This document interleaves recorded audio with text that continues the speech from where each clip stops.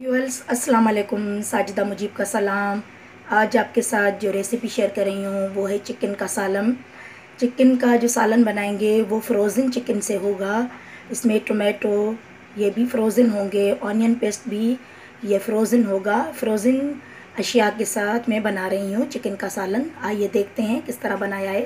Viewers मैं बना रही हूँ चिकन का सादा सालन। मैंने यहाँ पर लिया है ऑयल एट टेबल स्पून ये फ्रोज़न ऑनियन पेस्ट यानी प्याज का पेस्ट एट टेबल स्पून ये मेरे पास टोमेटो पेस्ट या प्यूरे ये भी मैंने लिया है, इसके भी ले लेंगे तकरीबन आठ टेबल स्पून इसके साथ ही मैंने लिया है टू फिफ्टी ग्राम, ये चिकन ये भी फ्रीज़ किया हुआ था।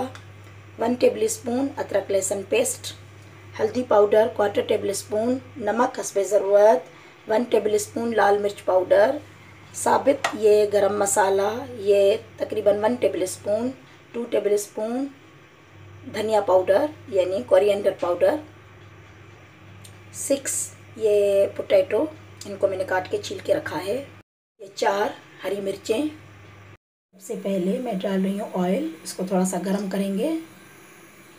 अब मैं डाल दूँगी ये ये ऑनियन अब इसको चलाएँगे। व्यूअर्स ये देखिए, इसको भून रही हूँ।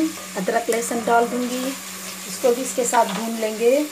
आँच को थोड़ा मैंने मीडियम रखा हुआ है। अदरक, लहसुन को अच्छे से भून लेंगे। अब ये चिकन डाल देंगे। फ्रीज़ किया हुआ है।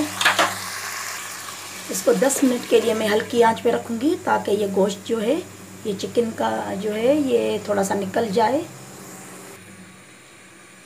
व्यूअर्स ये देखिए।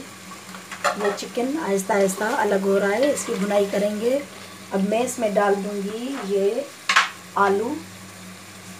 आलू डाल देंगे। इसके साथ ही मैं डाल दूँगी इसमें ये पूरे मसाले। और इसके साथ ही मैं डाल दूँगी ये टोमेटो पेस्ट।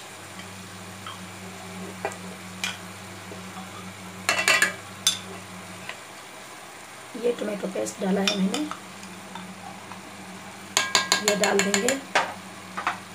और इसकी यहाँ पे भुनाई करेंगे। आँच को थोड़ा मैंने तेज़ किया हुआ है। ये देखिए आँच को मैंने थोड़ा तेज़ किया हुआ है।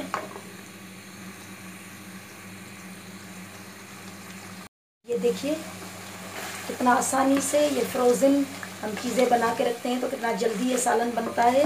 पूरी चीज़ों का मैंने पेस्ट बना के रखा था, और ये चिकन भी, इसका कलर देखिए, ये बहुत ही जल्दी बनेगा। अब इसकी भुनाई कर रहे हैं।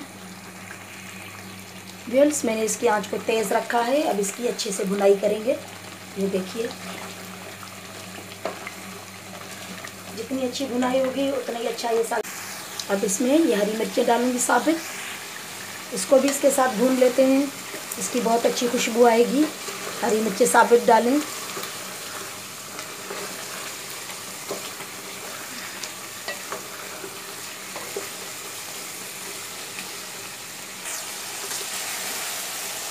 देखिए, इसका ऑयल निकल रहा है।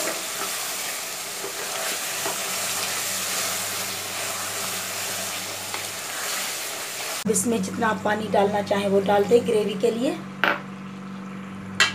मैंने डेढ़ कप डाला है पानी।